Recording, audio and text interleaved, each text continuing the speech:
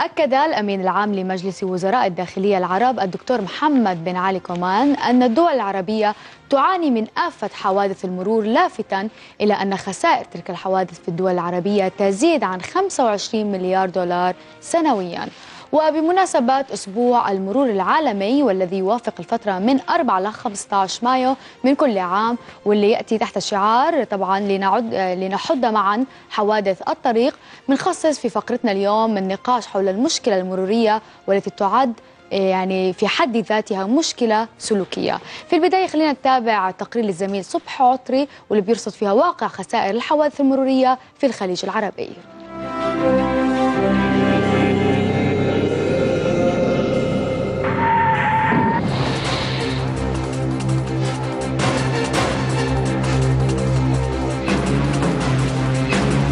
لم تعد الأمراض والآفات تتربع على عرش حصد الأرواح وإنما أصبحت حوادث السير هي ملكة خطف الأرواح. تقول الأرقام إن حوادث الطرق هي السبب الثاني للوفيات في بعض دول مجلس التعاون الخليجي بعد أمراض القلب. وتبدو المشكلة في السعودية وقطر أكبر من غيرها. ففي السعودية على سبيل المثال هناك حوالي ما بين 20 إلى 30 حالة وفاة بسبب حوادث الطرق لكل 100 ألف نسمة وفي دراسة أعدها عضو مجلس الشورى السعودي الدكتور عبد الجليل السيف عن أهمية دور لجنة الشؤون الأمنية في المجلس في العام الماضي قال إن عدد الوفيات بسبب حوادث الطرق في دول المجلس يبلغ حوالي 9000 حالة سنويا في المتوسط. وهذا بمعدل 176 حالة وفاة يومي بينما يبلغ عدد الإصابات حوالي 64 ألفا وتتكبد دول الخليج العربي سنويا حوالي 19 مليار دولار جراء الحوادث المرورية.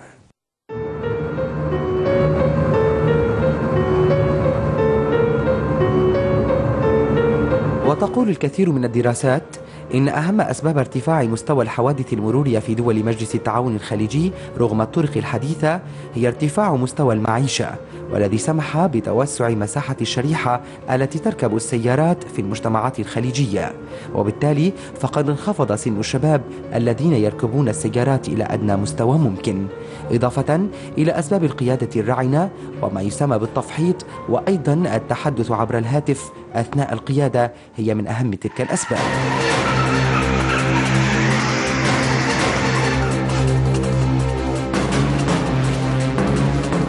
هذه بعض الإحصائيات عن نسبة الإصابة في دول الخليج سنويا. في سلطنة عمان يبلغ عدد الإصابات 352 إصابة لكل 100 ألف نسمة في السعودية تصل النسبة إلى 135.5 إصابة لكل 100 ألف نسمة بمعدل مقتل شخص وجرح ثمانية كل ساعتين. في الكويت تقدر الإصابات بحوالي 766 إصابة لكل 100 ألف نسمة أما في الإمارات العربية المتحدة فهي 961 لكل 100 ألف نسمة هذه بعض الأرقام لكن الدراسات الدولية تشير إلى أن معدل الحوادث المرورية ووفياتها مرشح للزيادة بنسبة 20% عام 2020 إهمال البعض وتهورهم يقود إلى الموت والحياة أمانة من الله فلا تلقي بنفسك إلى الهلاك فتترك أسرة مفجوعة ووطنا يفتقد شبابه. صبحي عطري لبرنامج يهلا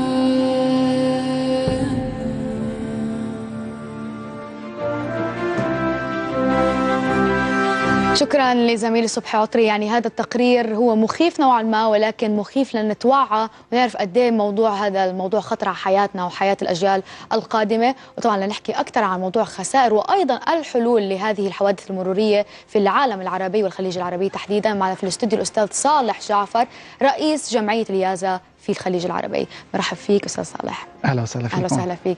يعني في البداية تعطينا نبذة عن جمعية اليازا العالمية وهي متخصصة في رصد هذه الأرقام. بالحقيقة جمعية اليازا تأسست ببيروت بالجامعة الأمريكية ببيروت بالتسعينات أوائل التسعينات بعد وفاة أحد زملائنا فأسسنا جمعية بالحقيقة بترعى وتطور الرعاية المرورية والتوعية المرورية في لبنان بدينا في لبنان ورجعنا انتقلنا بالبلدان المجاورة ومؤخرا الحمد لله انتشرنا بدأنا بالانتشار في دول الخليج العربي نعم. في التقرير اللي تابعناه تعرفنا على أرقام نعم. مخيفة جدا نعم. سواء كانت لوفيات وأيضا إصابات في الخليج العربي نعم. جراء الحوادث المرورية وتحديدا كلهم شباب يعني شو غير الأسباب اللي سمعناها في التقرير من ترف وتوفر الحالة المادية الجيدة هي بتخليهم يشتروا كلهم سيارات شو الأسباب اللي هي الخفية وراء آه، يعني حدوث هذه الحوادث بكثرة بالحقيقة هي أهم نقطة وأهم عامل بيساعد على تحسين عامل السلامه المرورية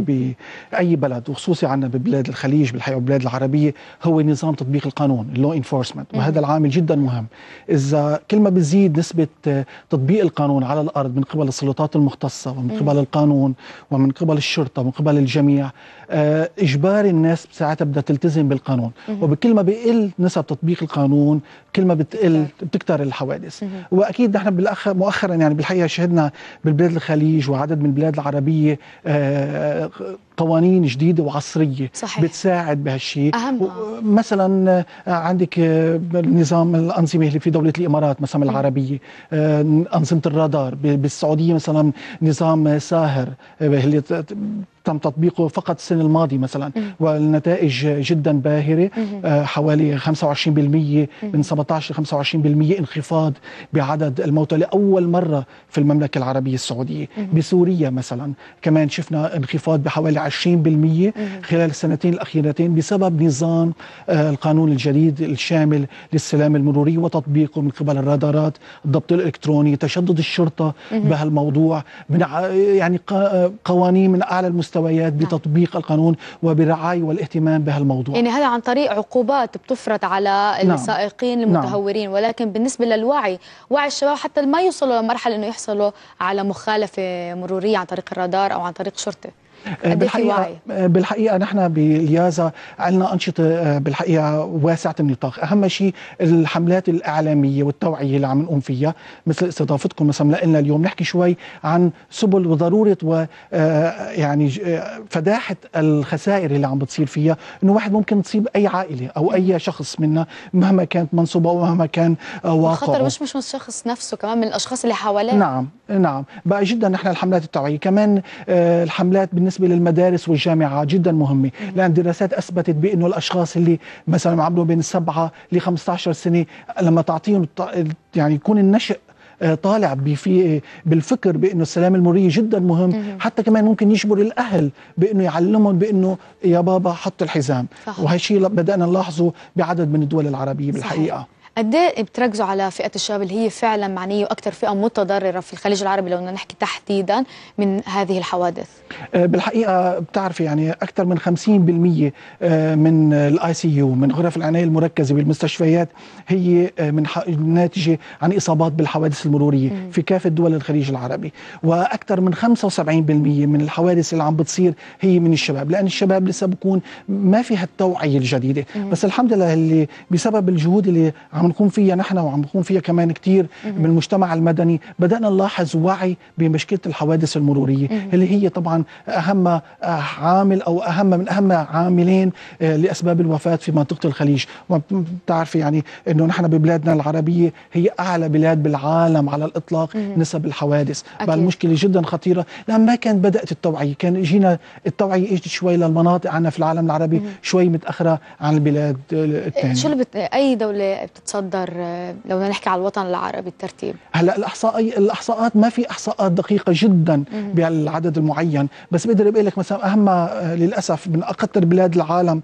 آه، في بالنسبة أو بالعالم العربي كمان والعالم بالنسبة للحوادث المملكة العربية السعودية آه، الكويت كمان عندنا مصر جمهورية مصر العربية لبنان وكمان الإمارات المشكلة السلام المدنيه أكثر من 75% هن من الشباب نعم. طيب وبالنسبة للدراجات النارية هل هناك أيضا بتشمل يعني هي الإحصاءات بتشمل الدراجات النارية أم عدد قليل جدا؟ آه، بتعرف بالحقيقة بدول الخليج العربي موضوع الدراجات النارية منه هو در... آه، أولوية بسبب قلة استعمال الدراجات النارية. بس بدول الخليج في عندنا الدبابات اللي هن الأربعة آه، بالصحراء بالصحراء. هذه جدا موضوع خطير مثلا بليوا بشي بهون بالإمارات كمان ببلاد بالمملكة العربية السعودية بعد من الدول جدا هذه خصوصي بتزيد بالمراحل العطلات وبالناحية الصيف. بدأنا نحن بالحملات بالحقيقة كان عندنا تجربة بالصيف الماضي بحملات توعية بالنسبة للدبابات هدول اللي بنحطهم بنقول عليهم